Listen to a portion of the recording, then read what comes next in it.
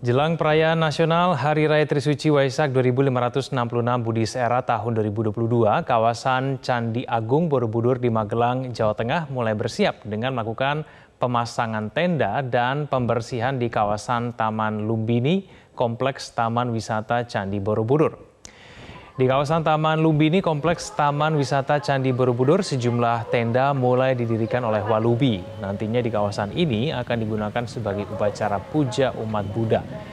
Selain melakukan pemasangan tenda bagi sangha, pengelola Taman Wisata Candi Borobudur juga merapikan rumput yang ada di kompleks tersebut. Rencananya pengelola Taman Wisata Candi Borobudur tetap akan membuka akses bagi wisatawan sehingga pengunjung bisa melihat langsung perayaan Waisak Nasional tahun ini dan dihimbau bagi wisatawan untuk tidak mengganggu jalannya upacara akbar bagi umat Buddha.